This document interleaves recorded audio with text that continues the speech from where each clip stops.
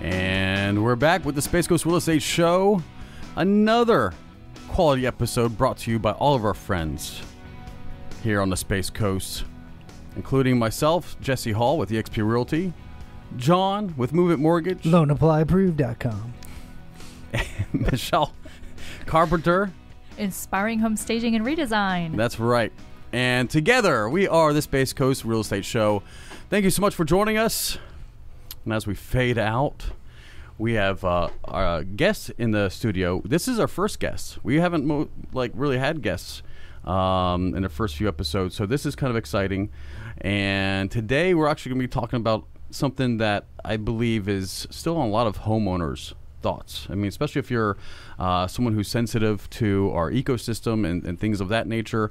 Uh, we're welcoming Jake. He is the um, manager of the conversa- conversation conservation Conservation. conservations manager with the Brevard Zoo. Brevard Zoo just just uh, I just noticed, guys, uh, they were recognized as a sixth best best zoo. I can't speak today. Sixth best zoo. We Nationwide. Brevard, Brevard Zoo. We love it. Brevard Zoo is um, it's a I great little facility. kids, so Yes, and and of course the kids love it. Big kids at heart love it. Yep. If you Likewise, haven't been, go. Uh, if you haven't been in a while because of COVID, go back because we just went last weekend and they've added a lot of new exhibits. they do have a lot of new exhibits. I Got a lot really going enj- on. Yeah, I- Always. I, enjoy the kangaroos. me too. Yes. yes. Yeah, the kangaroo You exhibit's always fun. You like the giraffes? Are oh, like we, J- Jake and I pre-show were like, how how are the giraffes just like breeding? It seems like there's always like a new baby because they're happy. over there. Yes, they are happy. They're and, happy, and so we're ex- for. we're exploring why why uh, animals in that captivity may procreate more than other breeds, and um, and it's it's just because they're- they're happy. They have the the, the, the land. They have the the a generous venue. They have full So- bellies. So yeah, I mean, I no think no predators. I think everybody Stressful. Exactly. I think everybody and uh, and I'm not sure how many tons of lettuce they eat, but all I know is every time I go, I, I serve a bushel to a couple of them, you know, and, and that's probably one of the most fun things you'll ever do because you're like 20 feet up off the air, and these guys are just like reaching up, and you know they got these tongues that'll just come and wrap. Probably their- as much lettuce as I eat. yeah, right. a full romaine in one gulp. like they, th- anyway, I, we, we, we really love it. Um, and, and it's more than that. The, the zoo does so much more for us here locally. They have a couple other projects. I'm not sure if Jake's going to be, you know, have the liberty to talk about it. Um, but they are so involved and we're so we're just we're just so over the top to have uh, Brevard Zoo in the house and talk about what's going on, uh, not just conservation wise, but also uh, zoo wise. So, Jake, why don't you introduce yourself um, and tell us like how long you've been there and why you love the zoo? Yeah. Well, thank you guys for having me today. Mhm. The zoo is happy to be in Brevard County. I mean, we're a community-built zoo. That, Yes. That's really part of our, our DNA is is being built by the community and keeping those ties in the schools and with our, our local families. So it's just it's been a wonderful opportunity uh, for us here in the last 26 years that we've been in the area. And and how long you been with them? I've been with the zoo for five years. So Wow. I'm, I'm as intro. I'm Jake Zender, conservation manager with Brevard Zoo. See, you can spit it out better than I can. Yeah. Uh, I'm I say glad. it all the time. I say it all the time.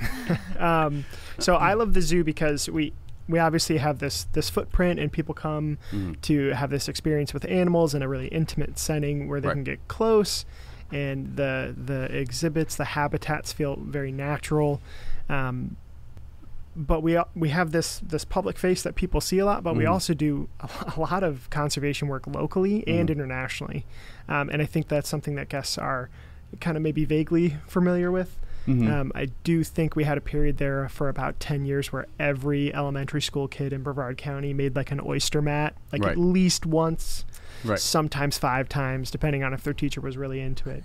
Um, so we did have these little touches in the community Mhm. um, in some of our local conservation work. Um, but we also have a portion of every admission and every membership goes to international and local conservation projects where they come to Brevard Zoo, which is not a huge facility in Right. terms of like you know national zoos, and we've you know putting our money where our mouth is and giving money to other organizations to do good work all over. You know, from the Florida Wildlife Hospital here in town, Right. to groups in Madagascar and Borneo and India Mhm. and all over the place. I mean, you guys rehab hurt manatees, sea turtles. You guys are always releasing something into the back Yeah. into the ocean. It The seems like turtle there's crawl. yeah. you know. So there's always. I mean, it sounds like uh, there's always s- something in the news regarding Brevard Zoo in one way or another. You know, That's a good thing. Yeah. Yeah. Yeah. Yeah. so we we try and fill whatever the local need is, and that's Mm-hmm. that's really the origins of our conservation story. Right. Um, is there were opportunities where they needed help, and Right. we stepped in to kind of fill that role. And the Sea Turtle Healing Center is a great example of Right. that. In that you know the Sea Turtle Preservation Society and other groups were having to drive like a hundred you know plus miles sometimes to get to a facility. Well, the nearest for one's like a. SeaWorld. Yeah. You know. And then there's one way further south, like Gumbo Limbo, d- way down south. And so we, you know, got the community together and we got a gracious donation um, to build a Yes. world class veterinary center and, you know, sea turtle rehabilitation Mhm. facility. And now we do a bunch of sea turtle releases. Yeah, uh, John, Michelle, any um, any fun memories of, of the, the zoo with the kids or anything else? Well, yeah, I got two kids, so um, we'd love to go to the zoo and hmm as you know as often as we can. And also they have the zip lining there Yeah. too that we The- uh, the- we enjoy. The treetop. The tree Yeah, top tree track. track. track. That was That's the tongue twister. that was new. yes. Like that's only like what four years old? I think it's a bit older than a that. bit it really? I would. It is. It's actually say- 10 or 12. I was going to say it 10 was or around 12. 2011, Uh-huh. 2012. I, feel think real- it got not- finished. Yeah. I feel even more guilty for not enjoying it yet. Have you guys done that? I I have have. not. I even did Well- the You have black not? diamond. What the My black Tom? son, Yeah. Yes. I have twice. You have And I twice? work there, so Right. I, I, sh- I should go more, apparently. We first moved here in 2010, and my son was in sixth grade. So that summer, um, he pr- he attended one of the camps that they have for the school age children during the summertime, and so he was able to go canoeing. And Mm-hmm. they did do the zip line, but he was still a little shy at that time and did not. Um, so he did not participate with that. But it's a great opportunity for the kids during the summertime for the zoo camps. I'm assuming y'all still have those. I think I Mhm, saw some we do. advertisements on that. In, in person and virtual, And if, virtual, if that's your speed. Yeah, so um, he was really that was our first. You know, we just moved to Florida, so that was really a good intro, um, introduction to Florida, Florida wildlife, and things like that too. So it was Yeah. a- that's a great thing for people moving into the community. My daughter's school goes there every year on Yeah. like a field trip, and I always tell my baby girl to let me know because I want to be the chaperone. Yeah, we're still doing some night hikes with the education department, so you get kind of the, the zoo after dark. Um, and of Those are course, summer cool. camps and things. Yeah, it's a, it's a totally different experience, obviously, because there's there's plenty of nature that just is on the zoo property that is Right. not, you know, we it's not under our care. Right. it's just the owls and snakes and turtles and everything that are just kind Oh. of hanging out on the property. Speaking of that, is does does that have any? Um, I mean, there, there's no there's no gators eating any of the, the zoo animals or anything like that, right? No. Okay. So we, we do have the odd gator get in from the Right. wetlands adjacent, but Oh, it's the little guys. Yeah. And so Okay. they hang out for a few days and then we, we catch them and put them back somewhere else. Es- escort Yeah. them back. Yeah, Um, nothing big enough to be concerned about. Your, no, sa- I, your I- safety is okay. I'd hate I hate to imagine like an owl would just like grab a meerkat. yeah, and Ooh. Like that'd with be great. Like That's why they have the lookout. yes, They have that one poor sacrificial meerkat who stands up tall and looks Mhm. around all day Yeah. for Really? the hawks because that's one of the big predators out out in Uh, Wouldn't- Africa. Would that be weird? Yeah. It's I'd like- like to have that job. yeah. Isn't the meerkat enclosure covered most of it, Uh, or is it? I thought I thought it was It's o- partially it's open. open air. It does have Yeah. a little Yeah. open air. Yeah. Okay, I knew there were some parts of it. That The part where guests are is undercover. The parts where the meerkat are okay. open. Right. We haven't had any issues. Good. Good. Kids, it's okay. No Yeah. meerkat has been harmed in this podcast. Yeah. Uh, Which is surprise. We, we don't want to sing the Circle of Life song. You're right. it's like, oh, it's African species. It does tie with it, Lion it does King." tie. Yeah. Yeah. yeah. No, we try not to do that. now, and you guys do have like other theme nights. You guys have like a jazz night. You guys have all kinds of other things. Talk about Ye- some of those. yes. So those will be coming back around. Mhm. We we took a pretty big step back, as you'd imagine, during As COVID. as with everybody. Uh, yeah, everybody experienced this. You know, it's, you can talk about it with everyone because everyone experienced Right. it. Um, but yeah, so Jazzoo uh, is going to be coming up yes. in if we do it at the same time of year, November. Right. Um, so that'll have a couple different musicians, Mhm. um, bunch of local vendors for food, and drinks, um, and it's a super fun event. We we scaled it quite a bit back, uh huh. um, but I think pre-COVID we were probably around the 1,500 to 1,600 people coming for a, a one night. Nice. Um, It's always it's always yeah. on everybody's list to do. oh, it's a party! It's because a good time. it's it's it's part gala Mm-hmm. but it's at the zoo. Mm-hmm. And again, it's music, so it's a concert. So Yep. it's like all those things, and that's one of your uh, fundraising opportunities, Yes. correct? Yeah. The big the big fundraiser is Safari Under the Stars. That's the one. Yeah. Yeah. Yes. So that's the one that's more Yeah. the gala feel. It's Right. It's a you know get dressed up, nice table, plated Mhm. food, all that fun stuff. Um, so that one we just did virtually. Mm-hmm. Um, that's usually around April. Right. Um, man, if our development department here hears me quoting the wrong dates, I'm gonna, I might get in trouble. But I'm pretty sure. Um, so that one's um, you know big corporate sponsors Right. and local businesses that are just super generous and, and support the zoo and Mhm. a, a great opportunity to have some fun.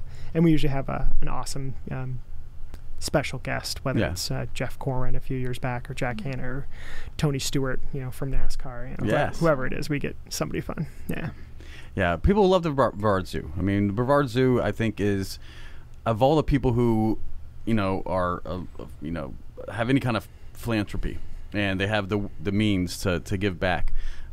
They give to the Brevard Zoo over a lot of other local charities because of all the work that they've done, and because they just they just love the facility. They love to be a part of it. Um, Brevard Zoo gives back in so many different ways with education and so forth, and again conservation, which we're going to talk about because you're here, and this affects the residents of Brevard County as well. When we talk about the Life of Lagoon, and I don't want you to become, you know, I, I, we get the MRC and other other professionals in here to talk about the Life of Lagoon, uh, but it's an issue, and it's a big issue. We just passed a tax not too long ago. Uh, we're constantly seeing the dredging from all the muck and everything else being reduced. We're constantly hearing about, you know, the conversion from uh, riverside uh, uh, properties that, that are within a certain um, distance from the river, uh, trying to be converted from a septic to now you know going to a sewer kind of thing. So there's a lot of improvements that are going on. Um, but I think one of the biggest things that people don't realize is the importance of oysters and other bivalves and mollusks and everything else and how they filter the water. What, what's and, and again, we know the answer here. But what, what is that ambition, and how does Brevard Zoo play into it?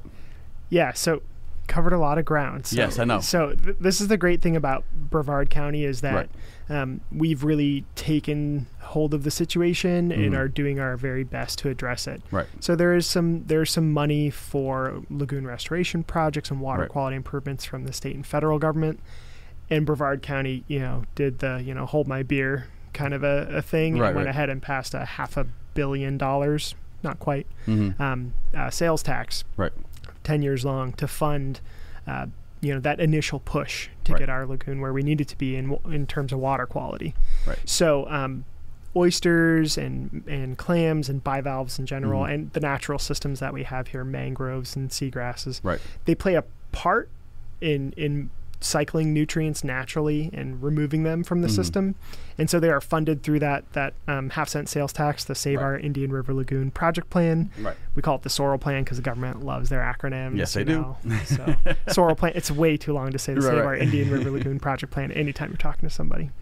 Um, but uh, a bunch of that plan is is covering um, muck dredging, removing nutrients. It's Mhm. got four four pillars to the plan. We'll cover those super quick. But to remove nutrient loads that are stuck in the system, nitrogen and phosphorus that's basically stuck in the muck. Right. So muck dredging, reducing new nutrients getting into the system in the first place. Mhm. That's like you said, septic sewer, septic upgrades, stormwater pond retrofits, baffle boxes. It's like the catch-all category. And we have, thanks to our great management here at the city of Melbourne, we have the largest baffle box this side of the Mississippi. Yeah, it's, it's uh, just right up uh, US one. Yep. Um, it's not too far from my house, so Yep. yeah, it's a great thing. Um, keeps a bunch of plastic pollution out of the lagoon as well, which is Well, you know, and, and, and that's what baffle benefit. boxes are supposed to do. You know, I mean, if, if not to get into like weird engineering, but you know what it does is allows some of the sediment to fall Mm-hmm. without going over. So you have several a series of boxes where the sediment's allowed to fall, the nutrients don't get into the river, only the only the water, ideally, right? I mean, that's Yeah. what we're trying to do. Yeah, So little compartments to catch all that stuff. exactly, and they And- just pump it out. and thank thankfully we have some of these other mitigation efforts. Mm-hmm. Um, but one of the last ones again is is the oyster mats. Yeah, so so restoration is the third category, Right. and that is restoring the ability of the lagoon, the natural systems, to remove those nutrients. Right, and heal itself. So yeah, so to speak. mangrove, living shorelines, you know, mangroves and grasses that are native to the area, hmm oysters specifically, and then there's the option down the road. They're not funding it yet, but to Mhm. add clams and seagrasses um, when we think that there's an opportunity there. Yeah, and and some some other uh, ambitions from because I mean it seems like there's all kinds of different uh, nonprofits who are Mhm. supporting all this effort. You know, I mean, especially with the restoration, um, the Marine Resource Council. They're famous for you know having. Um, I mean, you go there and get a, a, a rain capture system. Yeah, I rain mean, barrel. The Mhm. rain barrels. I mean, there's all kinds of different things that they're doing now, and so for homeowners here, there's a lot of options to be green. I prefer seeing, and this is this would be great, right? Um, in an ideal world of seeing just the end of the use of these nutrients in general for landscaping purposes. You know, phosphorus, nitrogen, heavy, heavy. Um, you know, because the algae feeds on these things, and, and during a storm or anything else, they're released from the muck again, which comes from the grass clippings, falls to the bottom, and just to give people a little background, and it and it's and it has nowhere to go. And so when a storm does come, or, or a tide, or any kind of shift disturbs that muck, all those things are released, and then we start to see algae blooms, which of course have have just really bad. I mean, it's it's toxic. Yeah. Yeah. So the, the things that your lawn loves to eat, the Yes. nitrogen and phosphorus and fertilizer, is, as you said, the same thing that algae likes to eat. Right. And so Brevard County did pass um, a fertilizer ban, an ordinance Right. saying that you should not be putting down fertilizer from June 1st to September 30th. Yeah, the rainy season. Yeah, the rainy season in Florida. you literally apply it and it gets rinsed and it right washes off. right yeah. off. Yeah, and so we have a number of of things that are working against us Mhm. in that regard. Is Right. you know, all all water leads to the lagoon for the most part. Yes. So even if you're not near the lagoon, that storm water drain near your property is going to run right out. So it's not just the people on the canals um, No. that need to do their parts. It's everybody. That's why it's a blanket rule. I had a neighbor and he loves his lawn, and he blew the grass clippings straight into the storm drain where it says like a little picture of the fish. Yeah. And like goes, you know, it, like discloses this goes right to the, and just it's so it's a lot of education. Mhm. Um, but yeah, so going back to, to I, my ideal world, I would just love to see xeriscaping Just you Yeah. know, if, if everybody could just use pavers or shells or sand or anything but lawn, Mhm. because it's I, I just feel it's archaic. Yeah. People think it looks great, but it, it's It's that 1950s look that that is like it's that embodied, it's that nuclear people's minds, family yeah. kind of thing, you know. Yeah. It's just like just like but like anything else, you know. Um, It's you know, we ingrained. yeah we don't the have grass is always greener. yeah, white white picket fence, single Yeah, family home. yeah you know and, and- but but but we're away from that. You know, we Yeah. don't you know a lot lot of families to to survive. You know, it's a two income family. They don't really do the lawn themselves, so it's more just like someone who comes ar- around like like a landscaping. Um, uh, uh, team and, and, and, and they do all of the clippings and everything else. And you know they're not going to care maybe for where those clippings go to you know? Some people blow it back into lawn. Some other people just may just leave it on the street and wait for the rain to just you know take it right down the drain. Um, so it's just a very unfortunate concept. And when we're trying to see the river re- get revitalized and, and in return i mean i'm not sure if that's that's something that we could hope for. I really do, but I mean, is it? And I, I'm not, you're not supposed to have an opinion, but I mean, is there a way? I mean, is, is oysters the answer in restoration? it is a tool in our tool belt. Right. So, you know, we didn't get here overnight. Mhm. We didn't get to the point where the lagoon is unhealthy Right. just because there aren't as many oysters as there should be. Sure, sure, It's it's a and problem, right? right, We have muck and we have fertilizer and we have grass clippings and we have septic tank. We have all these things that are contributing negatively to the lagoon's health. yeah, But on the positive side, we have a lot of tools in our tool belt to address Right. these things. So, oysters are not a silver bullet. right, muck dredging isn't a silver Exactly. bullet. These are each pieces to address part of the problem. So we like oysters because um, if you do it right, it's it's a one and done. You build it and it's self sustaining. Muck dredging or something else, you've you've taken all those nutrients Mhm. out, and then they'll they'll collect again eventually, and you got to pull them all out right, again. Right, right, So in theory, the oysters, you know, are sitting there filtering and doing their thing, breeding and, and proliferating over time, and they're just going to keep filtering and doing their their wonderful oyster thing. For someone who's never seen an oyster mat, it takes because I know there's like restaurants who participate in saving Yep. uh, the shells, and then it takes volunteers to then um, apply them and, and put them on what like a, a mesh um, Yeah, blanket or, or what does that look like? yeah. So there's a, a a bunch of different techniques that people in the industry use Mhm. to do oyster restoration and put oysters out there and try and you know catch wild oysters and start having them grow and, and Right, feed and, and eat algae and do all those things that we Yes. want. Um, but the best material for them to grow on is other oyster shells. Mhm. So um, we run the local branch of the Shuck and Share program. It's based actually out of um, Marine Discovery Center in New Smyrna Beach. Cool. They started it, and it's to take this valuable material Mhm. that normally just gets thrown in the trash. So Right. local restaurants, we have 19 local restaurants in Brevard and a shucking house Wow. um, that contribute shell to the program. So we go around once a week. Um, Awesome. Olivia from our team goes around in a big Yes. truck. We call they, they set their shell aside from Right, all right. the folks who are eating. We collect it. We take it um, to a site where people won't mind the smell, and it sits there and kind of bakes in the sun and the ants and the rain and everything. Clean it off, and then once it's nice and clean, a nice just you know kind of not quite fossilized shell material will Mhm. start there, and that's the building block um, for all the oyster projects, um, uh, ideally around the state. and one question I get a lot is, well, do oysters just find Yeah. o- oyster shells? Yeah. Yeah, it's it's super interesting. So Mhm. you take that shell material, you can tie it to mats like we've done up in Mosquito Lagoon with Right. UCF for you know forever. Um, here we'll put it in steel cages, where there's an aquaculture mesh you can use, or you Mhm. can stick it in concrete. There's different concrete Right, right. designs you can use. So there's a bunch of different ways, but it's everyone's targeting the same Mhm. thing. You put out oyster shell, Right. and they build little oyster condos. It's the best. It's the best hilarious. thing, right? That's So awesome.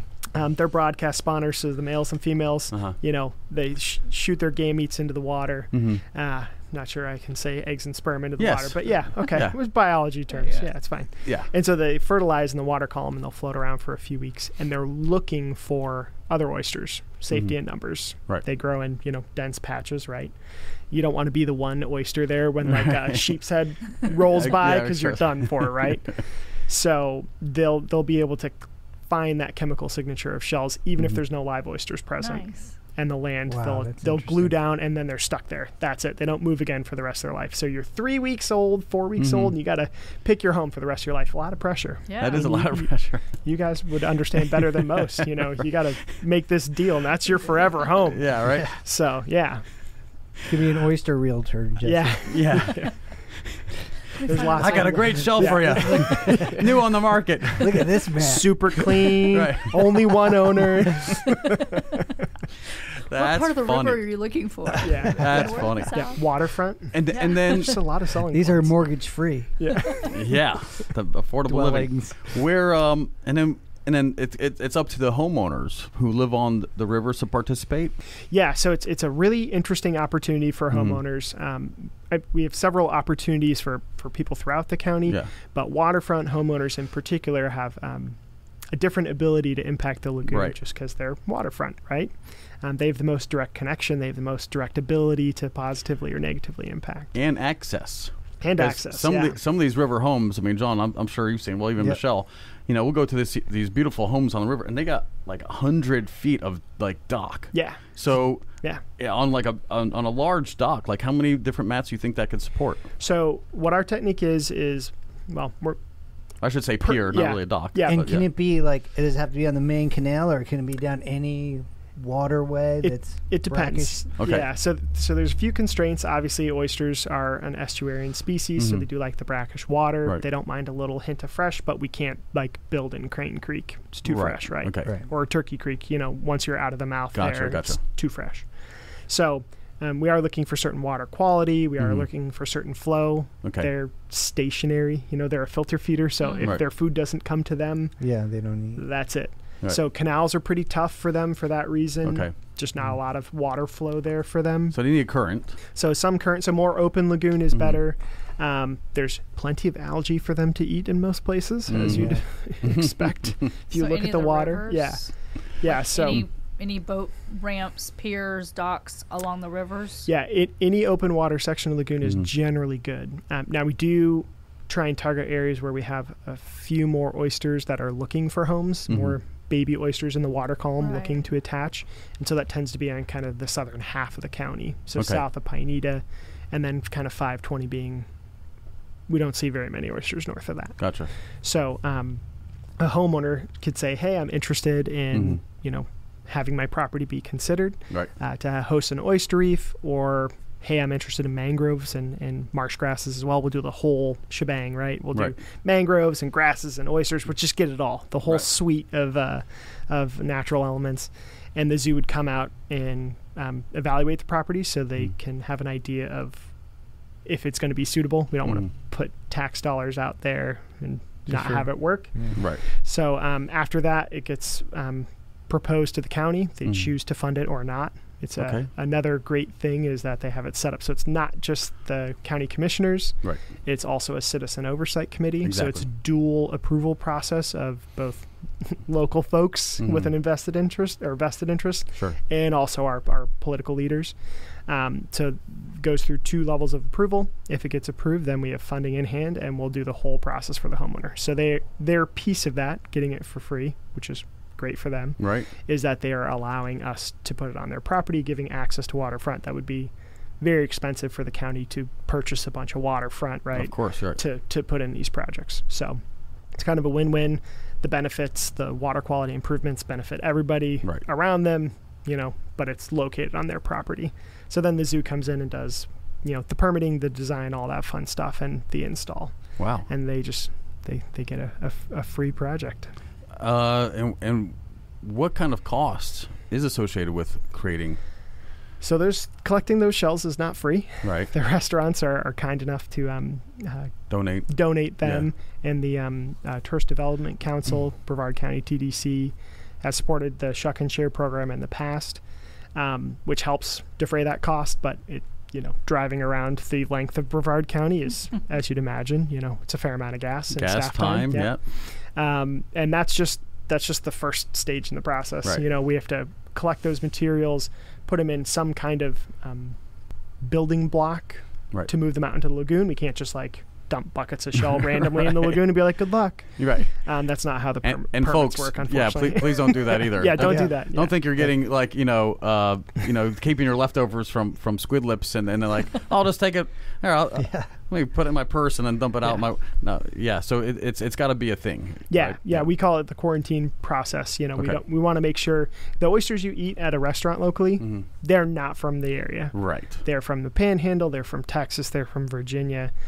They will not be from Brevard County. They Right. will not be from the Indian River Lagoon. So we don't want to introduce any potential pathogens. Mhm. So we, we have a very strict, you know. Is that why there's only 19 restaurants? It seems like there'd be a lot more restaurants that served oysters. well, they have to choose to be in it. It is some work for them and some Right. training for their staff to participate. So we, um, it's an opt-in program. We're not hounding folks to get involved, but we certainly want everyone's oyster shell if they would Mhm. give it to us. Sure. Um, so yeah, it's it's grown every year. When we first started, we were just getting from the shucking house Mhm. and like one one like red lobster in Melbourne, and it's grown in basically the past two and a half years to 19 restaurants, and we'll probably Right. add like another five in the next year or so. Nice. So yeah, well, for those listening, now's your opportunity. Call Jake. Yeah. yeah, if you if you own a restaurant or a manager in a restaurant and you serve oysters, and you have those shells, we want them. Yes. Join us. Yeah. no um, kidding. we'll come pick them up once a week. It's not too much hassle for you. You just got to set them aside for us. Exactly, exactly, and and that's just like anything else. So once the the mats are then prepared, Mm-hmm. Yep. and the permits pulled, and now they're essentially um, gone ahead and and are actively doing their job. Yep. Um, how much water can a, an oyster filter? So the big talking point was always 50 gallons a day. Mm-hmm. It's prob- probably an overestimate, maybe a Mhm. gracious uh, math that was done there. Right. um, oysters can get full. That's a pretty big oyster filtering for 24 hours a day, seven Right. days a week. You know, so 50 gallons a day was the old talking point. Mm-hmm. It's probably more in the range like maybe 25 to 30 gallons a day, but that's that's one oyster. right. And Wow, there's usually lot. not like one oyster when you see oysters. There's Sure. dozens within you know a, a few inches. Mm-hmm. So um, the cumulative benefits are Right. still great, even if they don't filter quite as much as you know we. Well, I think it, I. I think it was that one marketing image where you put an oyster in a very algae kind of uh, Yeah. aquarium, and then you know after Yeah. the next day it was like clear. Yeah, you can Um, YouTube it. There's a yeah, bunch of great filtration videos out there. Yeah, But there's, I mean, but the river is such a big basin. and Yes. it goes all the way to you know St. John's and Mosquito, and all the way Yep. down all the way to, to, to I think Jupiter. Like I mean, it's just such Yeah, a pu- long. The IRL Lagoon. goes from Jupiter Inlet to Ponce Inlet. yeah, So five counties, like a little tiny bit of a sixth county down there Mhm. in the south. right. Now, when I said that oysters are not the end all be all, Sure. the the goal in the county's plan there is 20 miles of oyster reef, which is a lot. You know, 20 miles you of know, oyster reef was a lot. 14 acres or something of, Right. of oyster reef over the, the life of the, the funding source. Mhm. But that calculation is only going to filter the volume of the lagoon like maybe once a year. Mhm. So that's an improvement, certainly, from where we're at, Mhm. but that's not enough. So that's why I said this is Right. a, a piece of a bigger plan. So if you look at the, the pie chart on the funding of the, Mhm. the county's plan, the oyster and living shoreline piece is about 3% of the total funding. So this is, this is a small piece in the big picture, but it's one that most of the homeowners might have an opportunity to participate with. And who would they contact as a homeowner if they're interested? Well, they can hop on our website, Mm-hmm. um, restoreourshores.org. Mm-hmm. So that's the Br- Brevard Zoo's restoration program Mhm. within our conservation department. So they can go right there, and there's a volunteer tab, and it has all the sign up sheets. If you want to grow the baby oysters that get put on these projects, this is Mhm. another opportunity. So if you live in a canal and it might not be suitable for a, a permanent home for an oyster reef, Mm-hmm. You can grow them and they will grow just fine up in the water column. You get to babysit them and clean the Mhm. cage a little bit, make sure they're all happy, and then they go in kind of their forever home Mhm. on a on a reef when we build it. So all those sign up sheets are there. Um, we have a project um, funded through St. John's right now for clam restoration as well. Wow. So that gives us an opportunity to do work in more areas than are just suitable for oysters. Mhm. Like I was saying, in the north end of the county, gets a, a little bit more challenging for oysters. Mhm. Great clam habitat. Nice and salty, a lot less tributaries, a little bit more wave energy. Mhm. Clams dig it up there. Yeah. So if you're in Titusville or Cocoa, um, Port St. John, Wow. Port Canaveral, all those areas, Yeah. pretty good clam habitat. So we have a grant right now, and we are looking for a hundred different properties, right. uh, you know, for people to again get a, a, a free project that's going to benefit the lagoon. Well, here you go. I mean, you know, Space Coast, Brevard County residents. Uh, there's your invitation to get involved and you know do a little bit more than just have a, uh pier or an extension of your property out into the river. Now you could absolutely help uh, your home, and you know I'm not sure if that's if that helps with appreciation uh, for your property, but if someone really really loves you know fishing and and wants to be a part of that and have that legacy of hosting oysters, um, yeah, certainly you know they may pick your home over the other neighbor who doesn't. So you never know. Yeah, if you're if you're a fisherman, I mean, when you're out on your boat doing some you know backwater fishing and Mhm. inshore stuff, um, you go to the mangrove fringe, right? Right. You Yeah. don't necessarily fish along the seawall. You look for some structure, Right. natural or or not. That that's where the fish are. So if you build where an oyster reef, that adds a ton of structure that all the little critters are hanging out in. Exactly. The little crabs, the little shrimp, the little fish, and that attracts, as you'd Bigger expect, fish. the bigger ones. fish. Right. Well, So, well, yeah. especially the drum family, your redfish, Yeah. your sheepshead, because these are guys who actually forage on the bottom and, and they have Yep. strong jaws that crack Mhm. through shells and, and completely, you know, just, just love where you're at. So, yeah, if you love snook, redfish, mangroves Mm-hmm. are some of the best habitat ever. Yeah. So it this is something that we've lost unfortunately over time. You know, Mhm. we have 61% of our shoreline is armored in some way, so that's Mhm. coquina shorelines or seawalls. Right. And so we've lost some of that natural infrastructure Right. that grows the fish that we like to eat and the crabs Mhm. that we like to, you know, hunt for. Exactly. So, um, But there is there is a movement f- with the living shoreline, and Mhm. I was actually um, I had a, a unique uh, opportunity to um, provide music and and uh, as people who know me, you know that's kind of what I do. I, I, I DJ and MC different events, and we had uh, Tortoise Island hosted Yeah. a um, a living shoreline event, and of course, you know, we all came out. The MRC, Indian River Lagoon, like everybody who's anybody. Brevard Zoo was there and showed everybody like how to fish responsibly, all the way to how to, you know, create a mat. And I think they even had some live mats, and you know, where you could Yep. participate, and um, and getting away because you know a lot of those sloop those sloping backyards just end right into the like, like it just dis- disappears. It's like the in, like an infinite pool just disappears over the lead. There's like an infinite lawn that just uh, disappeared right into the lagoon. And guess what? All that runoff. Of course, it's beautiful green lawn right into the river. Um, so what they what they were encouraging people is to add a native shoreline, Mm-hmm. you know, with with some kind of grass or something else to capture. And you know, you add some uh, pebbles and some rocks and some shells. That way, it, it doesn't go all the way to the river. Right, it, it, it, it it falls into the sand or the sediment and is actually captured before it goes all the way. Do you guys have anything to do with that program? we're so we do living shoreline. So Right. if you have um, a fairly natural shoreline, kind Mhm. of the sandy slope up into your uplands, the dry part of your property, we do mangrove and marsh grass plantings. Wow, So we- really? We, do that as well. Uh, Okay. Marine Resources Council does also. Yeah, I was going to say. Um, I, I think a couple Yeah, yeah. Uh, organizations. they and us would probably be the two Okay. biggest ones in the area for um, for those types of projects. If you go further north out of the county into Volusia or Mhm. further south, there's some other um, nonprofits and other Sure. groups that do the work.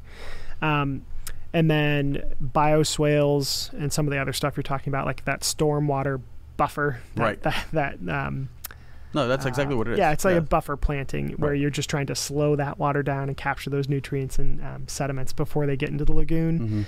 Mhm. Um, Satellite Beach has a program for that. We're Right. trying to we're looking into a grant opportunity for that as well to make it more accessible to homeowners because there are plenty of people who are interested in this but don't have the expertise or don't know what plants to pick and aren't sure what the design might be.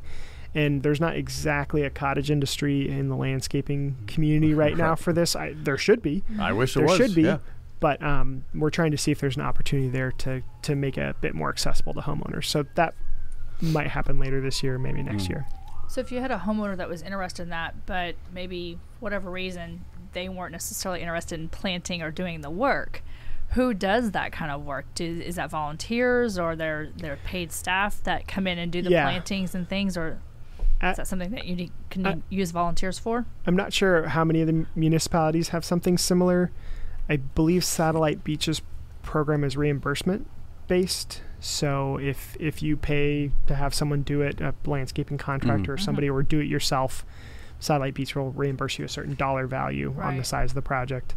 Um, we're trying to expand that with a, a potential grant to say, you know, the plants will be covered, the design, the install will be covered. You just Mhm. basically have to give. We're trying to make this as easy Right, and right. accessible as possible. in who's all of our installing it now? Is it primarily the homeowner then? Yeah, for, Okay. for most of these would be um, if you're doing living shoreline, something funded through the county. It's usually whoever's put in for that that contract Mhm. with the county Okay. through the SOIRL plan. So Right. the zoo or MRC Okay. um, would come in and do the whole install and the plant selection and everything, permitting if, if needed, and all that fun stuff. And then that's great because again, the homeowner just just kind Right. of gets to show up. I was just trying to think of something, Yeah. you know, if there's somebody that lives on the mainland that doesn't have shorefront property but would like to get involved. Yeah, there are some small, um, smaller landscaping companies um, that do more of that work where they focus on natives and focus on stuff like Right. you were discussing that doesn't need um, to be babied quite as much with fertilizer and, and pesticides or herbicides. You know, whatever you need to do to kind of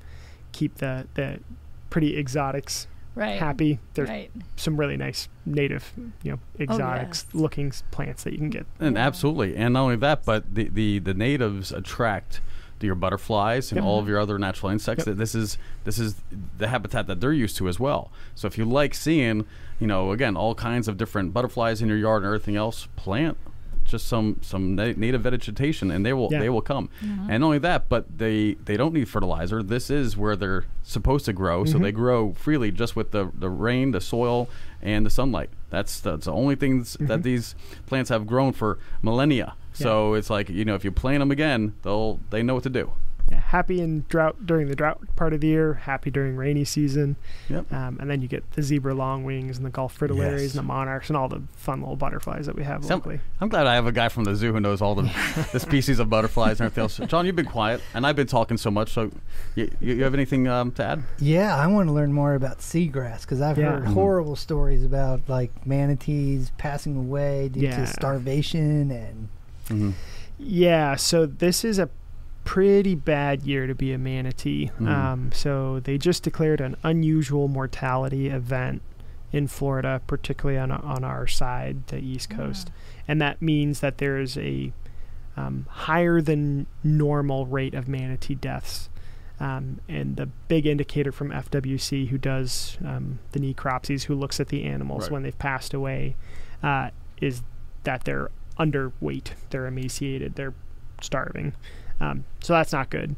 Um, it's a little odd because we really lost a good chunk of our seagrass in 2011 during the f- the first big algae bloom we had, where it Mm. kind of bloomed across the whole section of Brevard County, the super bloom. That was the big fish kill, right? Yeah, that was a big fish kill that year. We had the, when we had another in 2016, Hmm. um, and we've had algae blooms, not quite every year Hmm. since then. You know, 2012, 2013, 2014. We had some brown tide starting then. Yeah, I remember that. We had a little gap in 2015. 2016, we got hit hard again, and that was the other big fish kill. And then that was kind of the push for the SOIRL plan. Um, people got to see firsthand what happens when the lagoon is going in the wrong direction, uh, and that kind of pushed us um, to pass that funding. So, yeah, tough year for the manatees. I think uh, the state is is kind of running around like crazy right now, trying to figure out what can be done. I Mm. know FWC is is working hard. Is it still going in the wrong direction, or is it starting to go in the right direction? it is mixed. We'll there's not a there's not a, an easy answer. So the lagoon's pretty big, right? So it's the Indian River Lagoon's 156 There's a lot of miles long. components to that answer. Yeah. So um, for us, what we should see is I think Brevard County had like 45,000 acres of seagrass, and that was a couple different species that we had locally. There's like four of the main species. There's seven in the IRL, um, seven seagrass species. How do we they determine four. that? Uh, St. John's does aerial mapping, and then they do ground truthing. So Ah. they look at density of the bed, like how many Mhm. plants are in, you know, a square meter or whatever. Um, and then they do aerial mapping to get kind of the big coverage. So they do that every two years. And they had the 2009, we hit peak seagrass. We hit the amount of seagrass that their oldest aerial maps from the 40s, from the early flyovers from like Patrick, where they thought we had about 45,000 acres. We hit that in 2009, and then we just tanked hmm. Oof. right after that, which is pretty tough. And a little bit of recovery in 2013, and we've kind of just been eking along every you know two years since. So the 2019 map came out last year. You know they do the survey in 19 Mhm. and they publish it in 20, and we're still kind of struggling. We have seen a little bit more seagrass in some areas, and a species that we're not as not as used to seeing down south has Mhm. kind of been moving up because we had a really dry winter and dry spring. So it's it's happy. It's migrating up. The water's Mhm. been moderately clear after that algae bloom this um, last winter kind of wrapped up. Is that food for the manatees as It, well? it is, Good. but it's it's a tiny seagrass. oh, Mm-hmm. You know, w- when we think of the Manatees are ones that big. manatees like, they like the big, long, Aw. stringy ones. There's a bunch of species that make this really long blade Mm-hmm. and get this really dense canopy of seagrass and really fill in and make a bed. You know, if you've ever snorkeled Right. in the Keys and like the turtle grass, course, right. where it's Yeah. just this meadow of grass as far as you can see. The species that we have that is present right now is, just doesn't grow that Yeah. big or that dense. It's just Mhm. kind of it, it's there. It's some seagrass, so we we're happy about that, but it's not enough to feed you know feed the manatees and recover to where where we need it to be. But it's something. You know, it might be a step in the right direction. Mhm. So that's interesting. yeah, it's it's a tough time for so the. can you go out and the just like play with this grass? I mean, so funny story. Um, we started a project to look into that. Basically, um, one of the mechanisms of seagrass, they do um, fertilize and have seeds Mhm. underwater, Oh, which is kind of fascinating. Yeah. Right. Um, so they can spread by seeds, but actually, one of the the main mechanisms for a lot of them is when manatees or something is foraging, they break off fragments and they Mhm. float around, and then they'll land, Land. again and reroute, and that helps them colonize new areas, and then they Mhm. just grow like normal and expand. So we can collect those floating fragments and then replant them to kind of start little pioneer beds. So um, we started a project with that during COVID Mm-hmm. so that uh, that was an interesting project, but um, we still got some volunteers involved. Some some of the teens from the zoo um, got to come out with us and, and help monitor that project. Um, the big problem is uh, that the water quality is still pretty bad. Yeah. Um, so there's everyone, including the state and the county, is very hesitant about spending a, a million dollars, five million dollars on a big seagrass project, Right. and then that summer we have an algae bloom And and, there's no dies. light getting to the bottom and the seagrass dies because they're they're a plant they need light to photosynthesize Exactly. so it's uh everyone's moving cautiously trying to Seems like a big risk. yeah, Yeah. so um, there's a bunch of groups involved though. Fwc the zoo um, st john's river water management district harbor branch down south um, that are looking at ways to do this in kind of smaller cost effective ways so that if we think that we can you know have good confidence that it's going to survive we'll plant a whole bunch. Right. It seems like um, none none of it's an an easy task. It's all very daunting, and it takes lots of organizations to make it happen. Yeah, it, in the lagoons complex. I mean, we, Right. were, we were talking before we got started today Exactly. about you know how the lagoon flows and and the inlet you know question that people have, and it's just it, there's not always an easy answer, unfortunately. Well, it's because it's so long, Yeah, and there mm. are so many issues. And it's constantly changing too, just with weather. You know, we've been mm. dry, Yep. So that affects the climate and the Mhm. environment of the, the water. I'm sure itself, the storms and hurricanes can affect. The, yeah, Right. yeah. So so the lagoon is very. I don't want to say finicky. That's not the right term. It's very dynamic. Mm-hmm. Mhm. Yeah. So I mean, it's it's a system that's meant to be dynamic, right? Mhm. You have the mix of the fresh water, you have the mix of the salt water that makes it, you know, a brackish water system. Yeah. And then, you know, a hurricane comes and changes the whole water level and dumps Yeah. a bunch of fresh water. yeah. And then right after that, you know, late season hurricane, we go into dry season and the whole lagoon you know, evaporates Yep. down and concentrates the salt and we get real salty for a Mhm. bit. Yeah. It's a it's a very interesting place to work. Indian River Lagoon, St. John's, and and all these other um, connecting tributaries because you know we have a bunch of fresh water you know from Mhm. St. John's and there's you know there's there's tributaries coming from the northern end of the county and everything else and you know you also have um, even like uh, Lake Washington and some other big bodies of water not too far inland Yeah. and there's uh, you know again when it when those areas get too high during the wet season you know guess where it goes you know all the way to the lagoon the lagoon has a little bit to where to go and it is it is just a, a constant changing and but it's but it's also been recognized as one of the most vibrant diverse ecosystems in the country so I think it's our opportunity to help out. And so, you know, giving a call to action to any of the residents here, any volunteers that want to go to the Brevard Zoo, um, we've already given them a, a way to do that. You know, we're gonna re- we're gonna make sure we remind them uh, because you don't have to live on the river to do your part.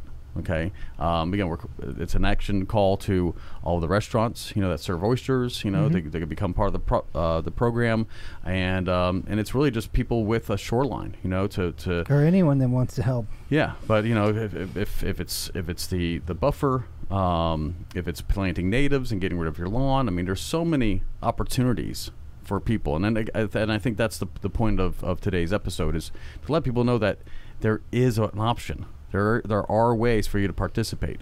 Um, but let's let's go back to, to the zoo and and uh, is there any summer programs uh, that people can, can come to? I mean, are, Yes. is it is there always a, a mat building uh, you know operation going on, or is it specifically certain times? So it, it's seasonal. Okay. So um, if if you want to come to the zoo Mhm. and and learn about animals and and learn about um, nature and getting outside, our education department has some great Mhm. programs.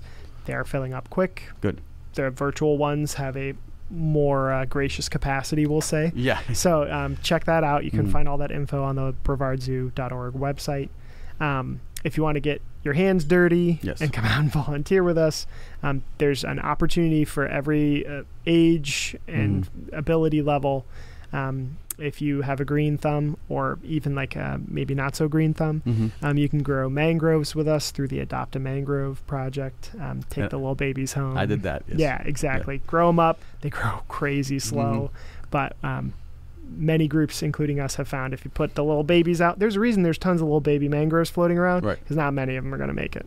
Right. So it's an ad- adaptive strategy there. Mhm. So if we can grow them nice and big, then we'll plant them and they have a lot better chance of surviving. Exactly. So um, you can do that. You can grow baby oysters with us with your Mhm. oyster gardening project. Um, you can come and, and volunteer to do the sweat equity, the labor of Sure. building our, our materials. We Mhm. do that in the cool months on purpose Right. um, because it's tough, tough Right. work out in the yeah, out in the sun and heat, um, bagging up oyster shells. Right. And then of course we need hands to put all this stuff in the water. So Mm. that is um, a little more focused on the summertime because that's when we build our projects in the lagoon because that's Mhm. oyster breeding season. What Um, about the boating community? Can the boating community help out in any way? yeah, People with of, boats? of course. Um, we have been targeting most of our um, oyster reef builds and our plantings in areas where we can get to it by vehicle, Right. and we do you know um, contract a barge when we need to bring in a lot of materials into a Mhm. spot that's maybe not as accessible. Um, but in the past and potentially again soon in the future, Mhm. we're going to be working on sites that are not as accessible. And so, if there's folks with boats who want to volunteer their time and their Nice. captain abilities, Sure. um, I would. then yeah, then we'd love to have that as well. In particular, for some of the clam projects, Mhm. they're not as material heavy. Mhm. You know, we're taking you know a couple buckets of clams out and spreading them out and you know kind of staking them in place. Um, so those are material light, we'll Yes. say, compared to the oyster reef, where we're bringing out you know a thousand bags of, of oyster shell. So Wow. that's a great opportunity for somebody who's got a boat that wants to um, come out with us and plan a few sites. Nice. Yeah. Excellent.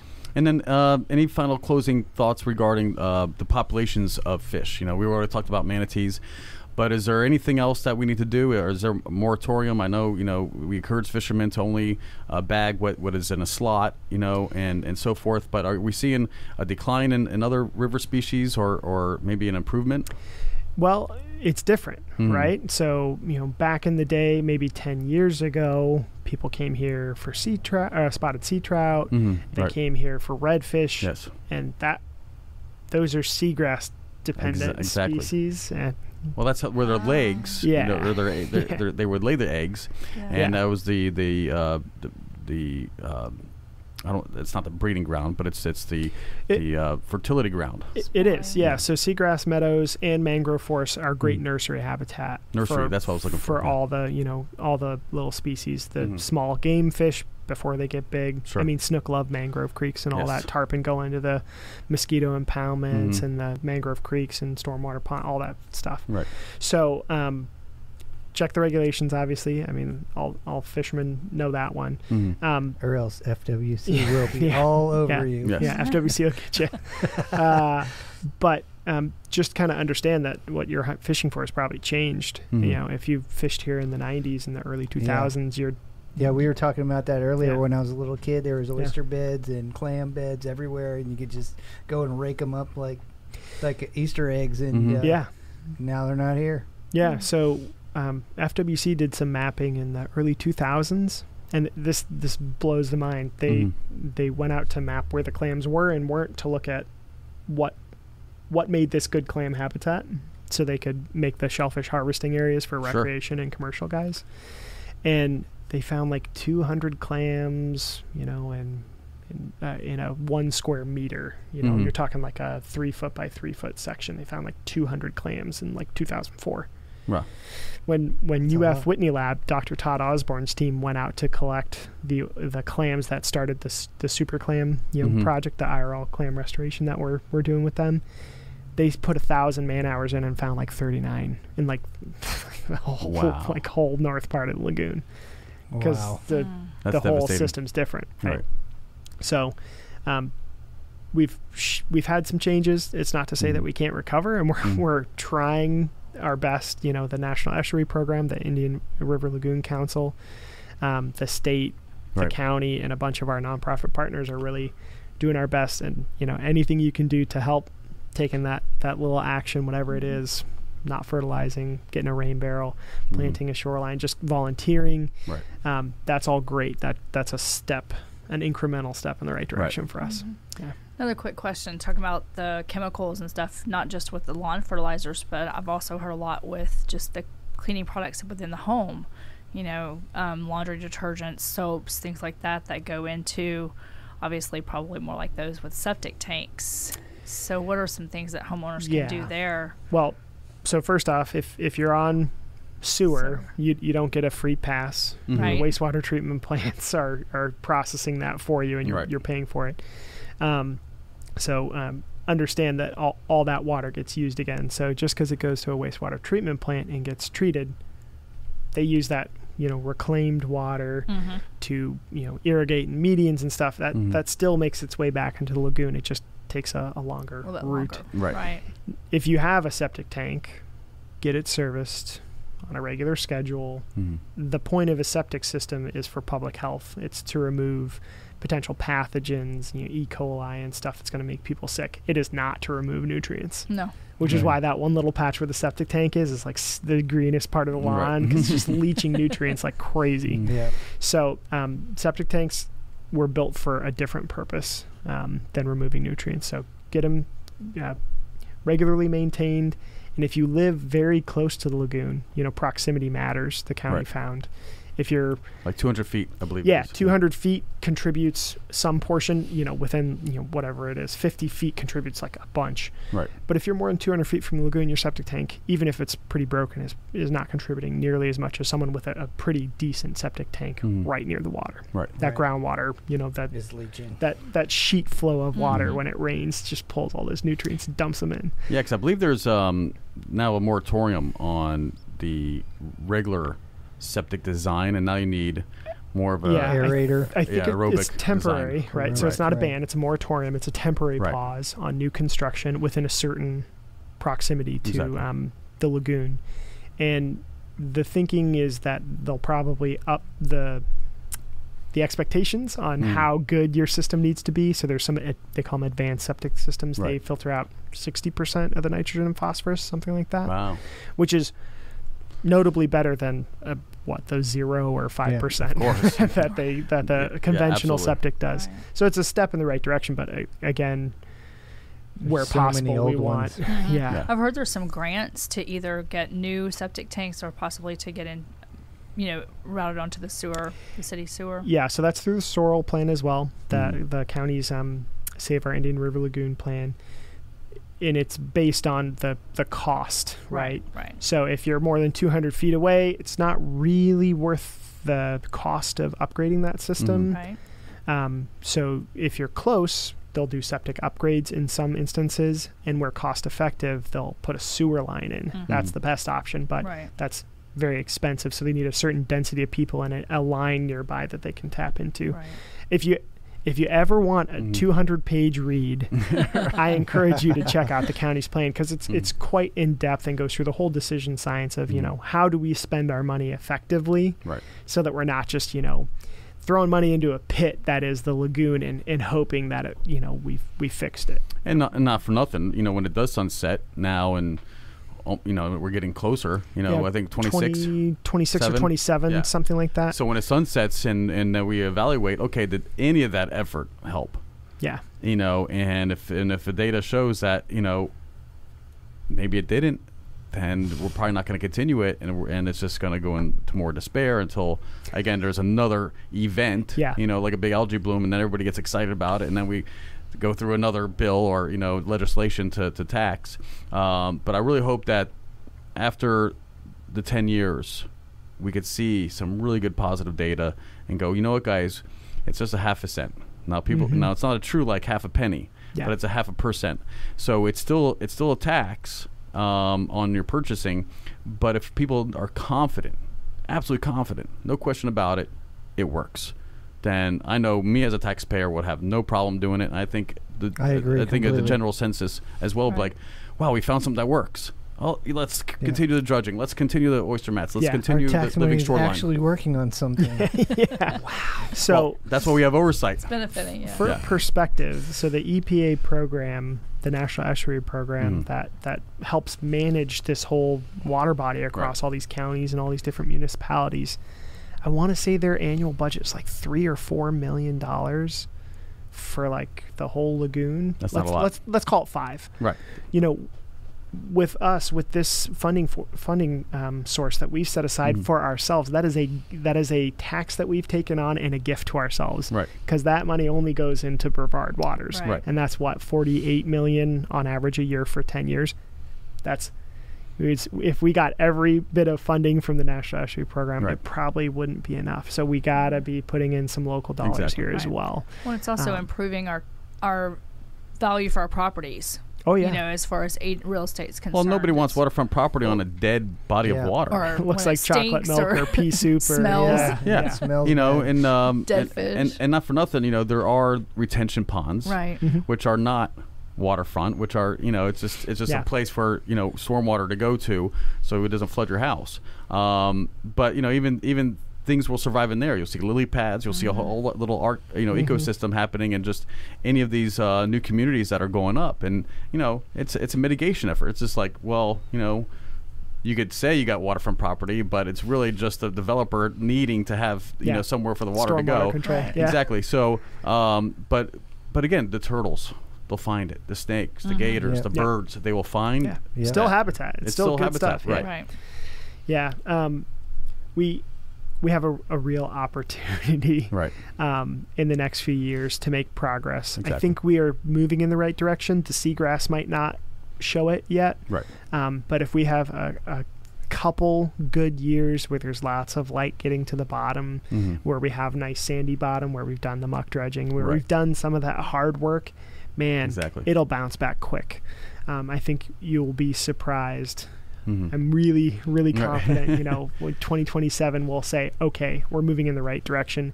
Things are getting better, and I hope hmm that encourages us to keep, you know, the effort going and not just say, all right, we did it. You know, Nature has a way of yeah, correcting itself. Yeah, yeah, So, I just hope that the efforts that were planned and mapped out, again, now like going on its fourth, fifth year, I really hope by um, that it catches up with all the population that's also contributing to even more of the same. Right. Yeah. I mean, you know, more and more communities, more and more building, more and more of everything. Right.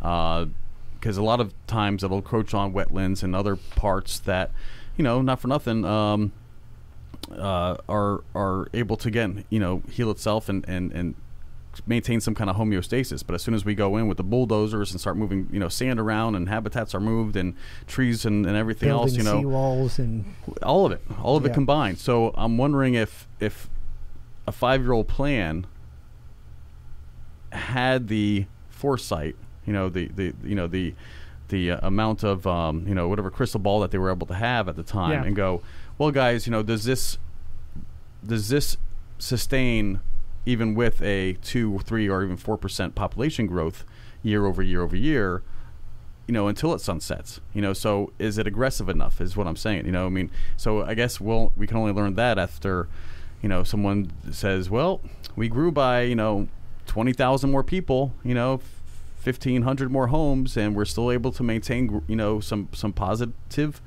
you know um, a result then man you know i think that you know we'll be way ahead of ourselves and and hopefully into a, a really good direction yeah. So the number I heard thrown around pre-COVID was Mhm. that 900 people a day were moving to Florida. yes So that's not only Brevard County, right it's spread out but the space industry seems to be pretty booming. absolutely Our engineering firms seem to be doing quite well. So I'm imagining that we're getting a decent, you Mhm. know, proportion of, of those 900 a day right people. that number may here. have gone up. I, actually, during COVID, it probably could did. have. Yeah, yeah Um, I, you guys would probably know better than, than me on that. that number has gone up. Yeah, perfect. Yeah, yeah. So um, there are things that we can control Right. here in our county, you know, with the SOIRL plan, and there's things we can't. So you Sure. know, the state and the feds have to do their their part as Yeah, well. We all yeah. we all gotta you know be pitching in.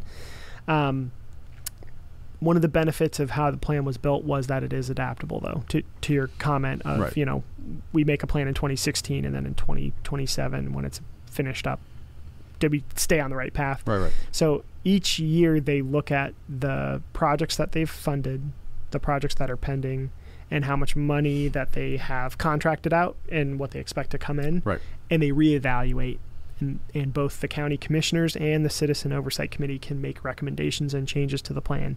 So we had a big, I'll call it a realignment. hmm Um, in the first like two years, we had a huge pot of money stuck in Right. um, muck that. dredging. Yeah yes and people were not interested in spending you know two three hundred million dollars whatever it was just on Yeah. muck dredging and so they reallocated a Mm. bunch of that funding into other programs that would have more uh, more spread out it'd be a little bit more equitable across right the length of the county instead of just a few big muck deposits getting Mm. dredged like Galley River and up by the Borrow pits by like 520 and all Right. that. And so each year it gets reassessed to make Mhm. sure we are spending our money effectively, which I appreciate as a taxpayer. Mhm. Exactly. So yeah, Well, this has been plenty, plenty insightful. Um, it's so glad to get an update from you know Brevard Brevard Zoo. Um, a really big, not only um, amenity here in Brevard County, it is a uh, it is an attraction in itself. And because you guys are doing over and beyond with rehabilitating sea life, to, to also contributing to um, you know any effort to help the Indian River, Indian River Lagoon, um, it's just uh, you know from all of us, you know, thank you so much for the efforts. yeah. Uh, Thank any- you guys yeah, super inspiring. I, Yeah, I, Yeah. I hope nice. it inspires people to want to get involved, like it has inspired me to want to get involved. Definitely. yeah, it's a great place to live, and you Mhm. know, so we're we're happy to be in this community. We have a great opportunity here. yeah, but it's up to all of us. You know, I mean, Yeah. it's it, it takes it takes effort, and Yeah. for you know, for people because because I, know it when it comes around the algae bloom, almost everybody has an opinion. But when things are good and like you know, right now we're at a pretty good homeostasis. You know, you Yep. think fish are jumping, dolphins are rolling, Yeah. and it's like you know the sun goes up and down. But at the end of the day, how much how much are you really excited about it? Except you know when you get a, a, this these inflammatory headlines like you know you know dead manatees and, and, and fish kills and everything Yeah. else. So I really hope the, the you know the listener uh, takes that initiative because I think you've given an abundant amount of ways Oh, to participate. So find one yourself, guys, and um, Get and involved. Get whatever you can do, even if it's just like taking half your lawn and dedicating it to natives. I mean, seriously, whatever it Yeah. takes. Um, you know, if you live canal front or, or you know are, are on the river, you have a unique opportunity um, to to also keep an eye on you know your shorelines. very and so- impactful. Yeah. A- and the most benefit to gain. Exactly. That's it too. Yeah. Exactly. Imagine going up- just off your dock and you know bring your grandkid and throwing the line in, and immediately you're, you're you know lining up with some some you know beautiful uh, you know Florida fish, and um, not for nothing, but if it's a keeper, you know enjoy your dinner. You Yeah. know, and, and uh, I mean it'd In be nice clean, to be in able a to clean river. Yeah. yeah, Right. it'd be it'd be really nice to harvest you know a, a meal uh, without being worried about you know where it comes from or or um, anyway, it's just uh, it just it just be nice to, to, to bring back that nostalgia you know Right. of, of, of just enjoying a, a really nice river. I think we would all look forward to uh, being able to walk out into the lagoon and collect a bucket of clams. Yeah, again. that'd be I mean, great. that'd be awesome. Have a clam bake on one of the spoil Mhm. islands. Right. Yeah. You know, just I mean, just live that Florida lifestyle. Yeah, that was in the '80s, and we were on one of the spoiled islands, know. and they were just surrounded by clams and oysters Mhm. everywhere. Yeah, and, it, and and again, it's you know you can't go blame you know um, uh, generations of the past for for overfishing or anything else. You know that's that's that's that's not the story anymore. The story is now we have the opportunity to do it ourselves and make this generation, Yeah, you know, the generation that Im- improves it for For our you know kids. exactly. Kids, right. Yeah. And everybody can get involved their in some, some way or another. So I'm gonna go ahead and fade us out and um, and say goodbye. But before that, Jake, how can people um, contact you and get involved one last time? Yeah, so go to the Restore Our Shores website. So that's www.restoreourshores.org. And under the volunteer tab, there's a bunch of opportunities where you can sign up for. Stay in touch, join our newsletter, and come check out the zoo. Support us that way as well. We love that. Awesome. And this has been another episode of the Space Coast Real Estate Show. Thanks so much for tuning in. And uh, make sure to go back and listen to our previous episodes. And of course, um, like the uh, Facebook page, and you won't miss another episode coming up. Thanks so much, guys. Have a great day. Thank you. Bye. Thanks.